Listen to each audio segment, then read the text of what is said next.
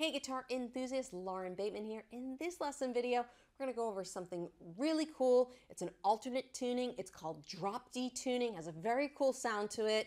Let's get into the lesson video. Real quick before we get into the lesson, I just want to say thank you to some of my YouTube supporters, um, Joan Milligan, Lawrence Walsh. Thank you guys so much for your donations. Really appreciate you supporting me here on YouTube and on my website. Thanks so much. Let's get into the lesson video.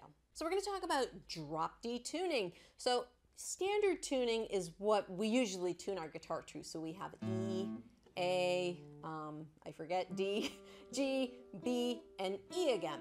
So this is what we would call standard tuning and what we're going to typically tune our guitar to. Now there are what we call alternate tunings and some of them have really unique sounds and the one we're going to do in this video is called drop D tuning. And the, it's really, most of it is the same except the top note is going to be tuned down to a D. Now the cool thing is you have a D note here. So you would just tune down. There it is. Hear that? Two Ds. Now, if you can't do that by ear, I have a built-in tuner here. Um, I'm even just a little here sharp here. You can check with the tuner, but it's basically you have D on the top. So instead of E on the top, we have D, A, um, D, G, B, E. So what this allows you to do, we're going to go over chords in a little bit, but what this allows you to do is play a D chord and have this really warm bass note come through on the top.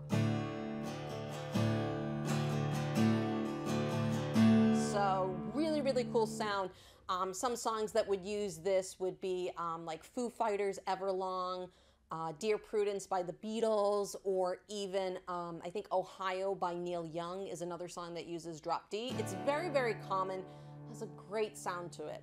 Um, but there's one little caveat. While we can play a lot of our chords the same, some will need to change. So for D chords, so the D and the D minor, you can now strum all six strings instead of just four strings, which is great. Like I said, you get this really rich tone to it now.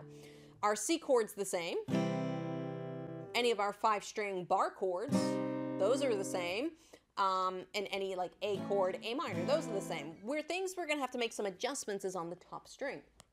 So for example, this top string is no longer E, right?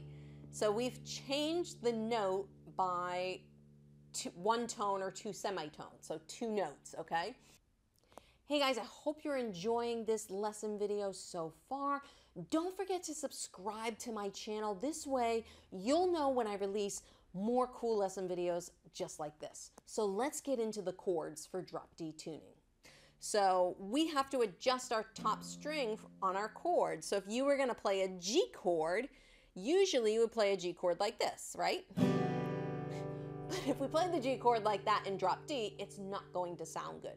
So the common solution is what we do is we move our first finger down to where our third finger was, and we use our third finger on the top string, and oftentimes we will mute. You could leave you could leave the fifth string open, but a lot of times we will mute the um, fifth string.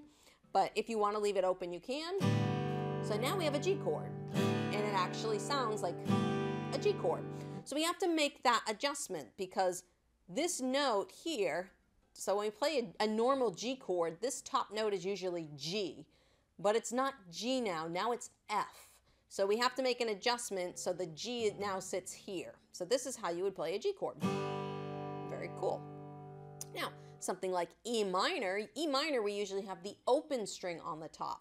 So E minor is different. You just put the first finger on the top string. So now that's how you're going to play an E minor chord. We've had to adjust a couple strings. The E major chord, we're going to have to use our second, third, and fourth fingers. And we're going to have our first, so we're going to use four fingers instead of three. So that will be your E major chord, okay? And if you wanted to do like an E major seven, you'd lift up your pinky. So that's um, another one here. Now, another cool thing with these types, this type of tuning is for power chords. makes power chords really simple. So usually when you play power chords, you typically have this shape here, where you have the first finger and then the, the third and fourth fingers, or if you do a bar, you have your other finger here. The great thing about power chords now is you just need one finger.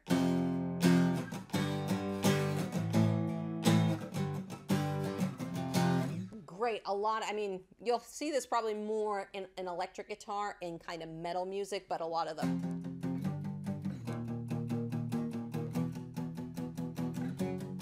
but it makes playing power chords really easy. So uh, particularly on this, if you're just using this top string. So that's another, drop D is used a lot in kind of like heavy rock music. Um, but those are some of the adjustments that you can make for chords like G or E or E minor, which are pretty popular chords that are going to pop up. So if you were going to play a chord progression, you'd have D. You could have your C. Then if I was going to go to E minor, and then we'd have our G. And then back to G. Hear that beautiful sound of that D note on the bass. Another cool thing about drop D tuning for picking, because now you're hitting two, two D strings, sounds super cool. Um, if you think of a, a song like um, Treetop Flyer, but I think that's in double drop D, but if you hear that, you almost think of treetop flyer. Uh, but that is a, that is a cool song that kind of has that feel and that's that sound to it. So play around with this drop D tuning. Go check out maybe some of those songs that I mentioned earlier. Make sure to like, comment, and subscribe to the channel here. This way you guys can see when I release new videos just like this. YouTube's gonna pop up a couple more videos over here. Go and check those out. I hope to see you guys in another lesson video.